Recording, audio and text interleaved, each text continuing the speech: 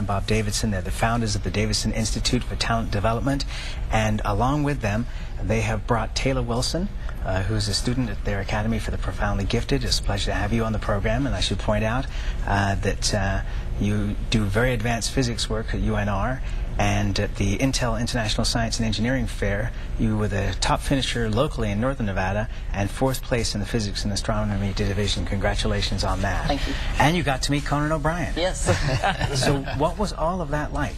Uh, it was a very interesting experience. Um, you know, a lot of stuff happened that week, and it's, it all kind of ran together. I don't know how well I remember all of it, but uh, it's uh, it was really exciting. You know, meeting the celebrities like Conan, and then my celebrities. Uh, you know, Nobel Prize winners. Um, uh, you know, Nobel Prize winners in physics or chemistry or those kind of things. But um, and also just the other kids that are like me, you know, that are interested in physics and are doing these interesting projects. So it, it was a it was a very fun week. What, what was school like for you before you came to the Davidson Academy? Um, boring. Um, I mean, it was it was it wasn't so much bad. I mean, I, I fit in. I wasn't, you know, uh, from that standpoint, but it was a little boring, um, more than a little. But, uh, you know, I slept through my classes a lot of times, and I, I didn't have to try to make, you know, 100 in all my classes. Um, so, uh, boring, I guess, would be the word to describe it.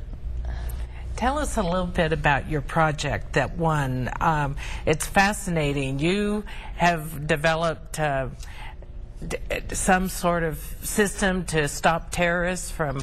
You you tell us. Yeah. Okay. Um, so kind of how this all started. I'll go back to the very beginning. So um, my passion is nuclear science, and um, I love radioactive materials. I have a large collection of all these different radioactive things, you know, uh, quack cures from the 20s that had radium, that kind of stuff. Um, so I wanted to make my own radioactive stuff. Uh, so to do that, uh, short of contaminating something, you have to have a source of neutrons. So when looking into this, I found the Farnsworth fusor, and basically it's a little fusion reactor. Uh, a little fusion reactor. Um, so what I'm doing is I'm fusing atoms together. Um, so uh, I'm the 30, like the 31st person to ever produce one of these machines and the youngest. Most people, uh, most of the people who built it, you know, are physicists, you know, and later in life who want to have a challenging project. But I'm the youngest at 14 when I uh, uh, built it. Um, but uh, anyway, it fuses atoms together. It smashes atoms together so fast that they actually fuse um, in the process of nuclear fusion, just like the sun. And uh, anyway, with that, um, I came up with my project for the science fair. And uh, basically, um, it's a way of detecting proliferated uh, nuclear material or nuclear weapons coming in ports.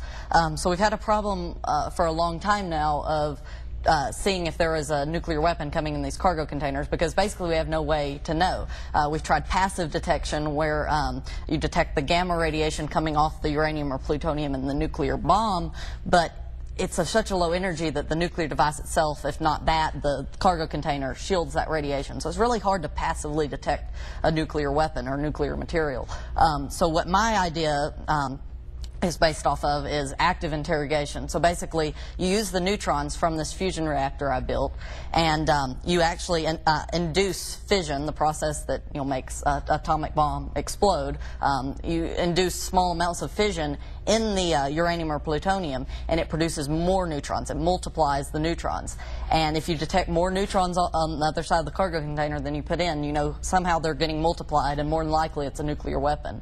Um, and it's pretty, uh, you know fail-proof system. I mean, the really the only way you can get fission if you have some kind of fissionable material there. So um, that's that's the gist of my idea. Well, has the government now talked to you, and yeah. have they asked you to help them out? Yeah. Um, so I just got back from Washington D.C. and I met with some people in the Department of Energy, some very high-level people in the Department of Energy, and also uh, sat in a boardroom with uh, several um, top uh, Department of Homeland Security officials who are very interested in the idea. They're wanting, you know, possibly you know, looking at grant money for this or you know expertise and different things. So yeah, Homeland Security is definitely interested in it because um, what their system is is uh, behind this. They right now they have plastic scintillator systems that basically all it can do is detect radiation. Um, their next level system is called the Advanced Spectroscopic Portal, and basically that'll tell them there's radiation and what the radiation is coming from.